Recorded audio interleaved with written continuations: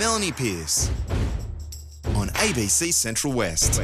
Good morning, Melanie Pearce with you on your airwaves at ABC Central West. Hope you're enjoying this sunny Wednesday morning.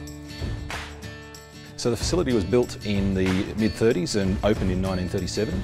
It's always been an ABC local radio transmission facility, but it's had multiple transmitters uh, inside the building.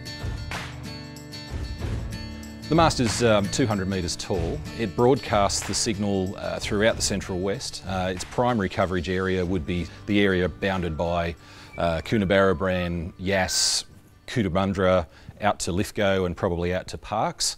But beyond that, it's well and truly easily received uh, at the Queensland border, and people in Albury can listen to it as well. So it's, uh, it, it travels far and wide. Not 100% sure of why it was built here, but um, it was around the era of the railway going through Cumnock and up to Dubbo. And to house a transmitter, I don't think there would have been any transmitter that would have been big enough to need this size of building. I'm only guessing, I can't really tell, but I believe there might have been some sort of national security uh, purpose that the government were thinking back in the 30s when they were building this. They might have thought that build it bigger, have the capacity to use it for other things. It's a very big station for an AM transmitter. I came to Cumnock in 1975 and, uh, as a technician. We used to live on site. There used to be three houses here originally and then when I came here there was two, one for the OIC and one for the next in charge. No, it was really good. We had two transmitters, there was a 10 kilowatt and a 50 and they're all valve type, so they needed maintenance like cleaning and rotating the valves and uh, just monitoring the program. Orange is on 22, Dubbo 27 and Bourke is on 30. ABC News.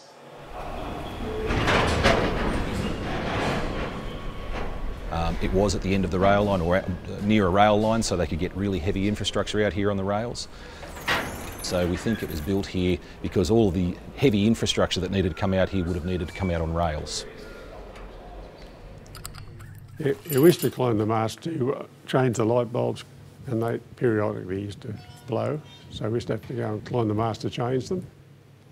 They don't worry about it anymore. They, they turned the lights off when I left in 92.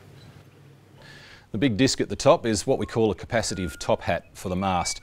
It changes what we call the electrical length of the mast um, and makes it a little bit easier to reconfigure the electrical properties of the mast and from the transmitter's point of view makes it appear to be something that it's not, a little bit longer, a little bit taller, saves on having to build a taller mast.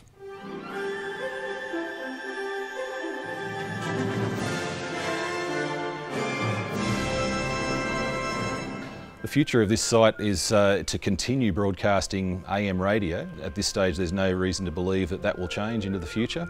AM radio is still a very important medium for the ABC to get to their audience and uh, we see no change for it apart from a possible change in transmitter technology as, um, as that, that sort of thing progresses.